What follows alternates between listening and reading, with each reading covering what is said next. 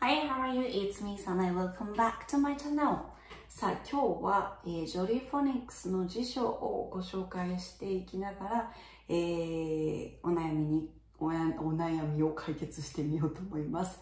えー、こういう質問ですね。え、っと、わからない単語があって、それは、まあ、今インターネットでね、調べたら音声ももちろん出てくるんだけれども、それをフォニックス読みをしていくときに、すごく難しい、えー、どうしたらいいでしょうかということで、えー、ご質問がありました。で、えー、そこで役に立つのがこれかなと思っています。もちろん子供たちも使ってほしい一つですけれども、えー、お母さん、お父さんにとっても、えー、これすごく役に立つ一つですね。えー、これなんか見ていくとですね、ジョリーフォニックスを理解、まあ、理解というか、えー、している人にとっては、えすごくわかりやすい辞書になっています。はい。例えば、うん、なんですかね。普通のね、通の発音記号じゃないんですね。ちょっと見づらいね。ここ、見づらい。えー、ここにですね、発音記号とはまた違う、ジョリーフォニックスで習った音で書かれてるんです。発音が。すごくないですか？すごくないですか？はい。よく作っ、よく作ってくれたっていう感じですけどね。はい。なので、えっ、と、ジョリーフォニックスの基本の音を知っていればですね、これを開いて、えー、あ、この単語そういう仕組みみたいな感じで、その単語を、えー、分解することができるんですね。はい。で、たまにですね、こういうのが、こう、こんな感じ？こんな感じ？なんかちょっとなんとかリボンみたいな、こういう感じの記号が出てきます。でそれはね、えっ、ー、と、曖昧、曖昧発音だったかな。曖昧に発音する言葉、あ音なんですね。えー、英語だと手話って呼ばれてるものかな。はい。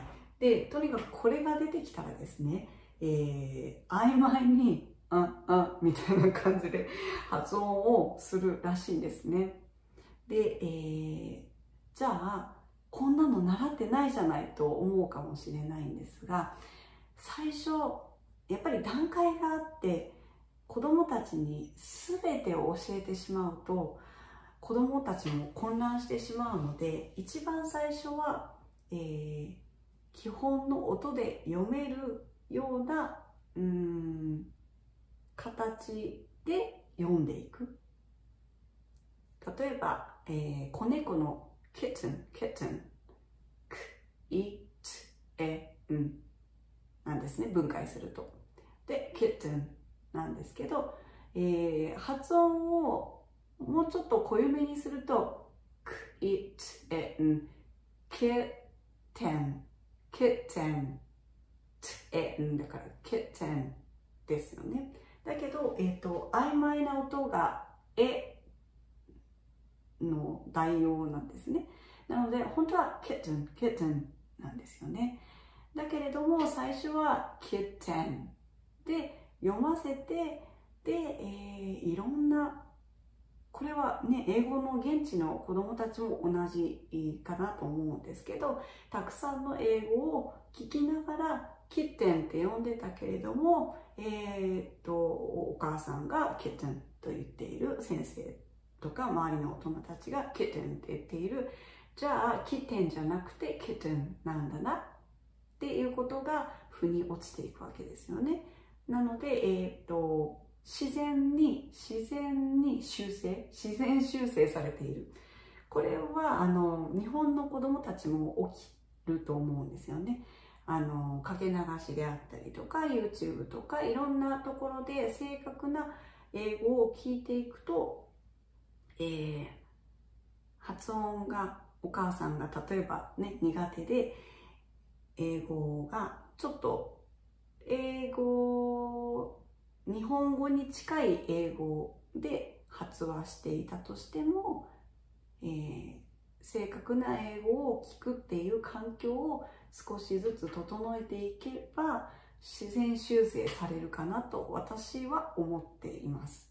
はい。なのでもちろん修正するの大変なので最初から綺麗な発音を学びたいという気持ちももちろんあられるかなとは思いますけれども、えー、そこまで心配しなくてもそこまで神経質にならなくても大丈夫かなっていうところでちょっとご紹介しました。はい。話を戻すと このジョリフォニックスの、えー、辞書ですね。今ちょっともしかすると表紙が変わってるかもしれませんけどぜひ、えー、結構ですね太いんですよね。はい、で絵とかも載ってますからね、えー、お手に取られると、うん、あの図鑑とかね好きな男の子は結構楽しいかもしれません Alright, thank you for watching this video. See you next time. Bye!